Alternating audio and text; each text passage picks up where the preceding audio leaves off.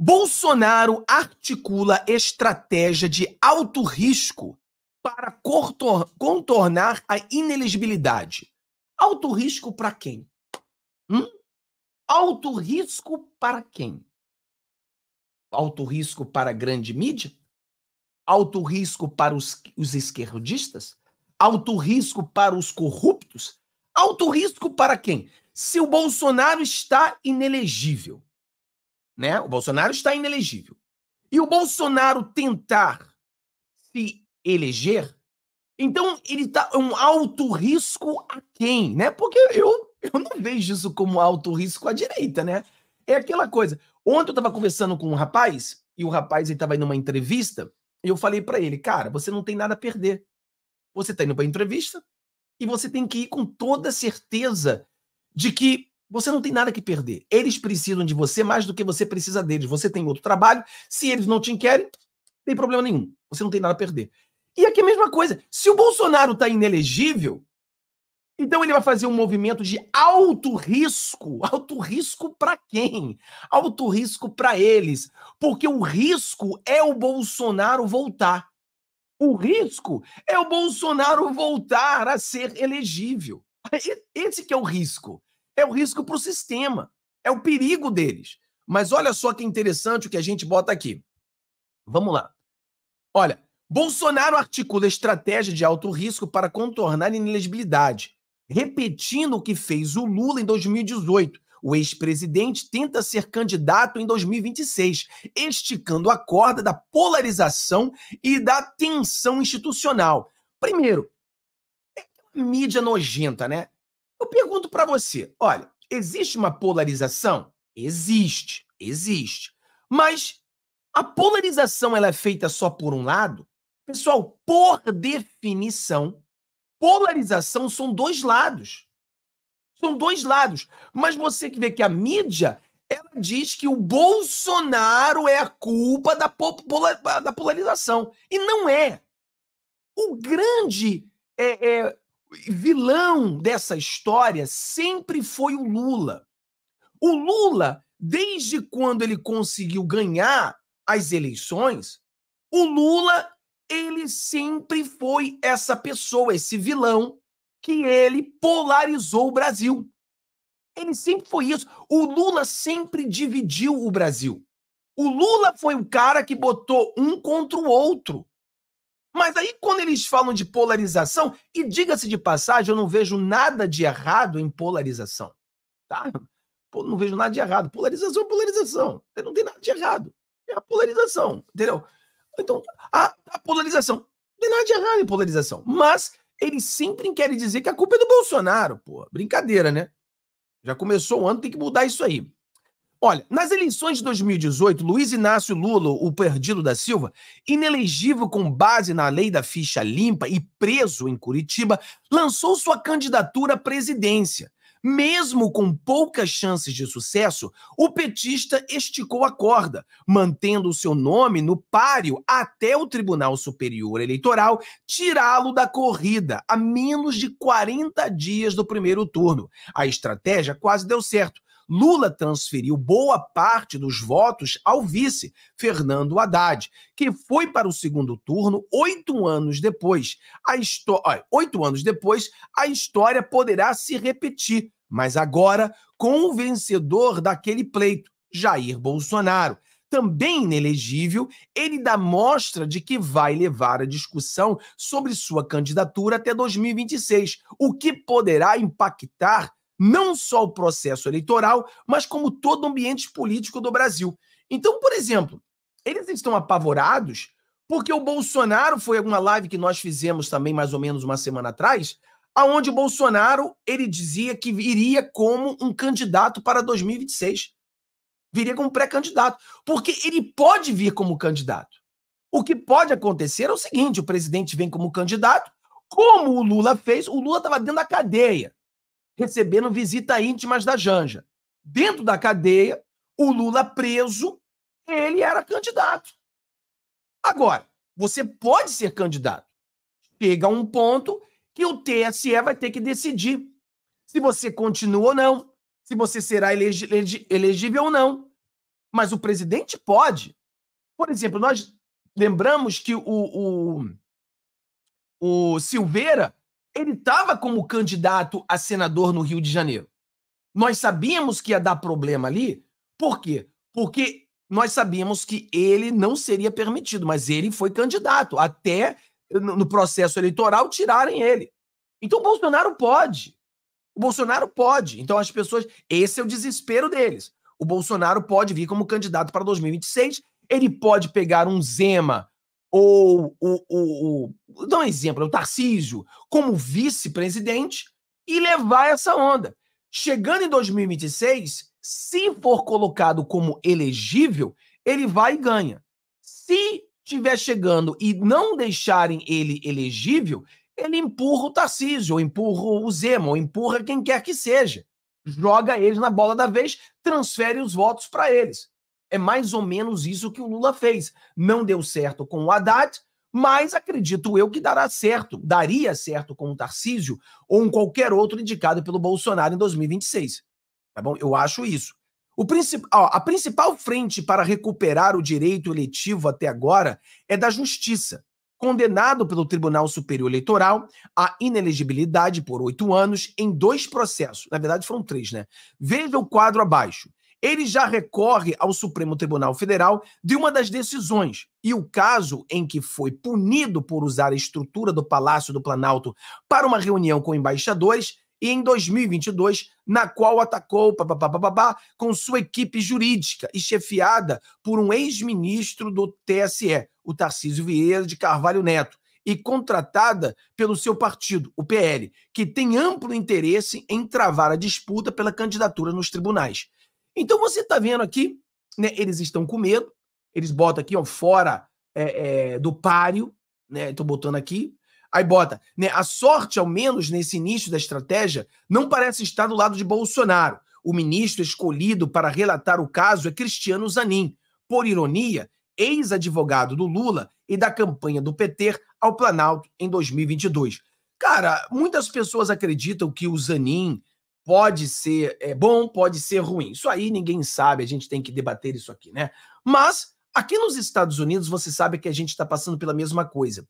E, cara, honestamente falando para vocês aqui nos Estados Unidos, o, o Partido Democrata, o Biden, a maior chance do Biden vencer nos Estados Unidos é contra o Donald Trump. Então, por exemplo, essa perseguição que está sendo feita ao Donald Trump, para o Donald Trump sair das eleições, pode ser revertida pelo próprio Partido Democrata, dizendo, cara, se a gente deixar o Donald Trump inelegível, nós vamos receber um tiro no pé. Vai ser um tiro no pé. Porque se entrar o DeSantis, se entrar Nikki Haley, eles vão destruir o Biden. Então a gente talvez tente deixar o Trump e correr o, o risco de Trump ganhar as eleições. Mas com o Trump, o cara, vocês têm que entender isso. O Biden, ainda que ele é horrível, ele tem chance de ganhar do Trump.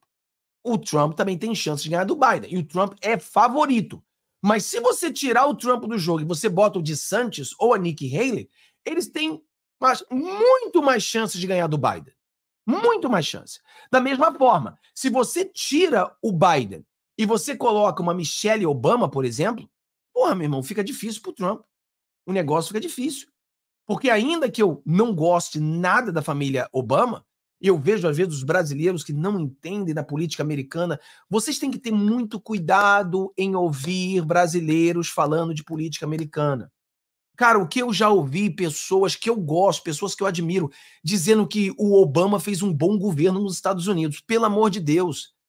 Uma pessoa que diz que Obama fez um bom governo nos Estados Unidos, ele realmente está completamente perdido. É o cara que diz que Dilma fez um bom governo no Brasil. É mais ou menos a mesma coisa. O Obama, ele é super carismático, super inteligente, super estrategista. Então ele consegue enganar, ele é um encantador de jumentos. Agora, ele fez um péssimo governo. Péssimo governo. Mas ele é muito carismático, cara. Ele é muito. A esquerda americana trabalha na carisma. Porque a esquerda americana não é essa esquerda comunista que tem no Brasil. A esquerda americana é uma esquerda globalista. Então você vê o Biden, você vê o Obama, Você, o, o Biden, não sei que desgraça teve o Biden, mas tirando o Biden, você pega o Bill Clinton e você pega o Obama, são dois dos presidentes democratas mais carismáticos que você já viu. Os caras têm uma carisma que você não entende. Eles conseguem, cara, são encantadores de jumentos. Então eles são perigosos. Então o perigo que tem nos Estados Unidos é se o Biden sair do jogo e colocar alguém como a Michelle Obama. Vai ser muito difícil ganhar da Michelle Obama. Vai ser muito difícil. Mas tomara que ela não entre no jogo, tomara que continue assim e a gente continue esse jogado aqui. Mas estão tentando fazer a mesma coisa. Então a pergunta é: no Brasil, no Brasil, se você faz uma análise assim, cabeça aberta, seria mais fácil o Lula, em 2026, enfrentar o Bolsonaro ou enfrentar um Tarcísio de Freitas? Muitas pessoas acreditam que Lula tem chance de ganhar de Bolsonaro, mas Lula não teria chance de ganhar de Tarcísio. O meu ponto aqui é que cada um coloca o que eles acham no momento. Mas o meu ponto aqui é entender que é o seguinte: se o, o Zanin vai seguir a liderança petista, ou seja, se o PT quiser que Bolsonaro continue, ou se o sistema quiser que Bolsonaro continue, porque Lula está destruindo o sistema. Então, existem possibilidades que a gente pode pensar aqui e tentar debater, né? Se o Zanin pertence ao sistema e o sistema está cansado do Lula, vendo que o Lula realmente não está seguindo as ordens, pode querer deixar o presidente Bolsonaro elegível para ganhar do Lula. Se o Lula ou se o Zanin é alguém que segue o Lula e ele acha que o melhor adversário do Lula pode ser o Bolsonaro, então ele pode deixar o Bolsonaro elegível. Na minha opinião, eu acho que o que é mais provável é o Zanin tentar barrar o Bolsonaro. É não deixar o Bolsonaro elegível. Eu acho que isso aí é o meu posicionamento que eu tenho hoje, tá? Eu tenho o posicionamento que eu tenho hoje. O que deixa no ar a hipótese de ele se declarar suspeito. Então, olha só, pessoal, olha só isso aqui. A sorte, ao menos nesse início da estratégia, não parece estar do lado do Bolsonaro, o ministro escolhido para relatar o caso Cristiano Zanin, por ironia, ex-advogado do Lula e da campanha do PT ao Planalto em 2022, o que deixa no ar a hipótese dele se declarar suspeito. Se isso não ocorrer, tudo indica que as chances de Bolsonaro são pequenas. Aí a gente vem aqui, deixa eu ler uma parte aqui. Aqui, olha essa parte aqui, pessoal. Olha só que parte interessante. Vamos lá. Um ponto a favor do ex-presidente é que a Corte Eleitoral em 2026 estará sob presidência de Cássio Nunes Marques, que foi indicado a ministro do STF por Bolsonaro e que votou contra a sua inelegibilidade nos dois processos, na chefia do TSE ele terá poderes para conceder liminares que podem ajudar o ex-presidente, como permitir que ele dispute a eleição enquanto tiver recurso em tramitação. Cara, pensa comigo. Muitas pessoas acreditam que essa é a bala de prata, né? Muitas pessoas acreditam que a bala de prata que o Bolsonaro vem falando é exatamente isso. Se você tem Olha só, você tem como presidente do TSE alguém que votou contra contra a sua inelegibilidade. Aí você vai a ele recorrer. Olha, está a prova que eu não cometi nenhum crime, não fui julgado, não fui condenado. As cortes internacionais proíbem isso. Isso é contra os direitos humanos, isso é contra as cortes internacionais, de uma pessoa que não foi julgada e condenada a ser banida de, é, de participar de uma, de uma presidência. Então, a decisão de uma pessoa que já decidiu em favor a ele. Então, é esse o medo. Chegando a essa época e jogando isso na mão do Cássio Nunes, aí você começa a deduzir: será se o Cássio Nunes vai dar, vai voltar a elegibilidade ao presidente Bolsonaro? Se ele já votou duas vezes que sim, como que você vai acreditar que ele vai votar que não? Entendeu? Então o negócio fica complicado. Então, eles têm um ponto aqui interessante no que eles estão falando.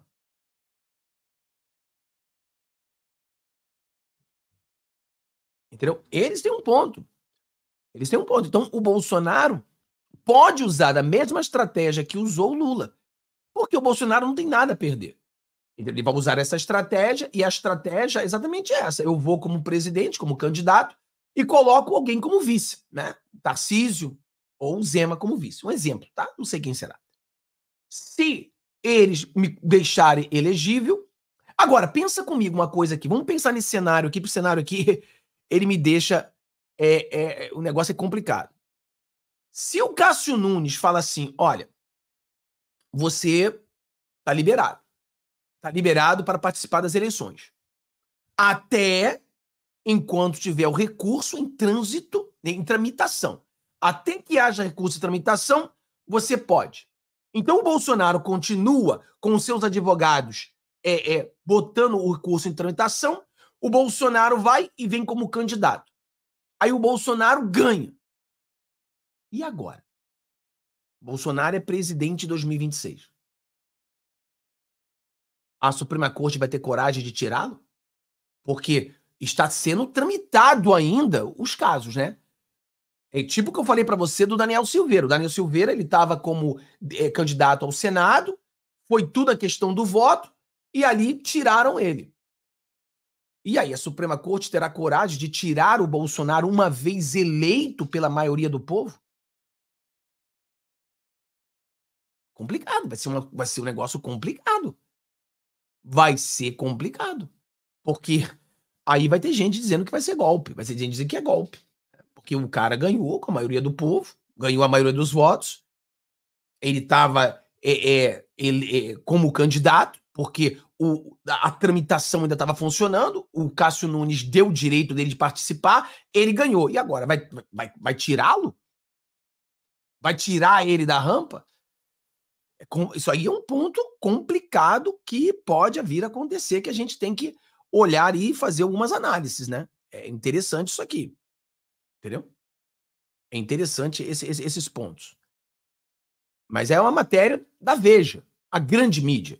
Não é nem eu. Porque se um bolsonarista, né, como eu, começar a falar sobre isso aqui, aí as pessoas dizem que o cara é maluco, é teoria de conspiração. Não, não, não, não. O Lula estava dentro da cadeia, tendo visita, visitas íntimas, e ele era candidato. Pessoal, porra, vamos, vamos olhar a história, né? Isso aqui são fatos incontestáveis. Então, eles estão fazendo uma análise através de fatos eh, que aconteceu com o Lula. O Lula estava preso, inelegível, tendo visita íntima e era candidato. Até 40 dias da eleição, aonde a tramitação terminou. Agora, se Bolsonaro con consegue continuar a tramitação e não termina, não termina, não termina. E aí a votação chega, o povo vota no Bolsonaro, Bolsonaro ganha. E aí, quando termina, vai ter coragem de tirá-lo? É esse que é o questionamento. Esse é o questionamento. Então a gente tem que a gente tem que botar o pé no chão e entender, isso aqui não é não é coisa de maluco. Você sabe que porra, coisa de maluco que não tem no canal, né? Você sabe que eu levo porrada porque eu fico puto com esse negócio de maluco. Eu odeio esse negócio de maluco. Então isso aqui não tem negócio de maluco, não, cara. Isso aqui é grande mídia. Quer reclamar? Vai reclamar da Veja.